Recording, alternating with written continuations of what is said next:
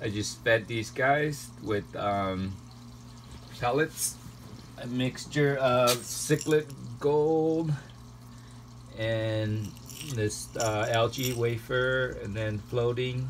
So this is what they've been eating. These guys are pigs. They eat, and I had some flakes in there too. I was feeding feeding them flakes too. They they actually like the flakes as well. Um, so these guys are four months old I think they're um, outgrowing this 55 gallon that I have I need to thin some of these guys out I want to get them to where they're super big and have their trailers, streamers running and all that. So I want to, I've been doing water changes whenever I can, sometimes uh, daily, sometimes uh, three days, sometimes four days. But uh, I've been cleaning the filter every week. So I never do both. I never clean the filter and also change, do water change. You never know if you you run the risk of um, killing the good bacteria if you clean your filter and do 90% water changes you never know that you might be you might shock your um, environment or your parameters so I never do both. I do one or the other. So uh, if the waters are really good to, today and then crystal clear tomorrow and clean I might wash the um, filter. And I always wash my filter with my water. I never used uh, tap water. I, I learned that mistake years ago. Uh, the chlorine basically just kills um, all your bacteria even though your um, filter's cleaner you're basically killed all your bacteria in the filter it's fortunate if you have uh, good culture bacteria in your aquarium, the water, if you didn't change any of that, but if you did do 90% water change and you stir up the gravel, you basically depleted 90% of your uh, good bacteria. Uh, in some cases, many cases, you'll, uh, the fishes will survive, but sometimes you will shock your water and you know, it's a delay, it's a latent um, kind of a effect.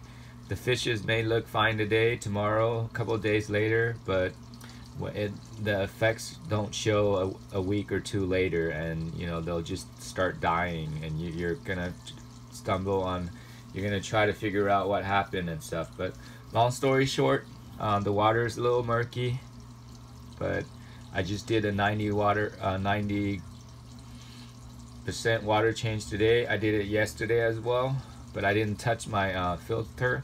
I have a really good decent filter running. It's a um, FX5 um,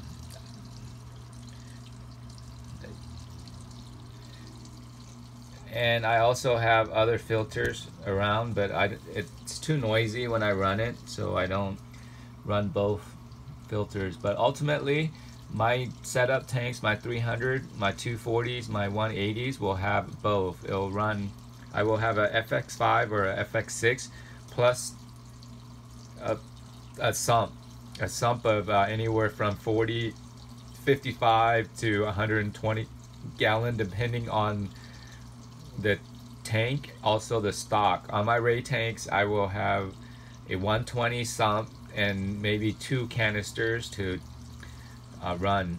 So, but with that said, this is getting actually under filter. It's not, I mean, this FX5 it's rated up to anywhere from 100 to 300 gallons, but you know, it you can't put a FX5 in, on a 300 gallon and stock tons of fish in there. They're just gonna die. In the long run, they'll die. In the short time, you know, they look good, they'll survive, but people forget that you know fishes pee and you know they a lot they eat the more you feed the more water changes you need so if you look at my fish they're overweight especially that guy I mean he's about he or she's about to burst I mean they're all overfed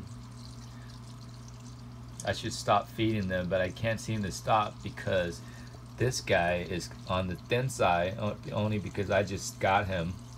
And then my archer isn't eating. He's only eating or looking for live crickets. So I want to set him a separate tank today.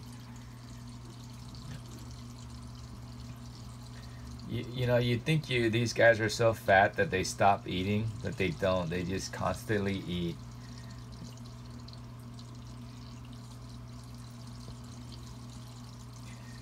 Yeah, keep that in mind. The more you feed, the more um, water changes you'll need. Even though your water is crystal clear or looks good, you know, you just got to remember, you know, you don't want to live in a place where you're going to the bathroom and not flushing the toilet. Just imagine that. Silly, but that's the way I explain to people.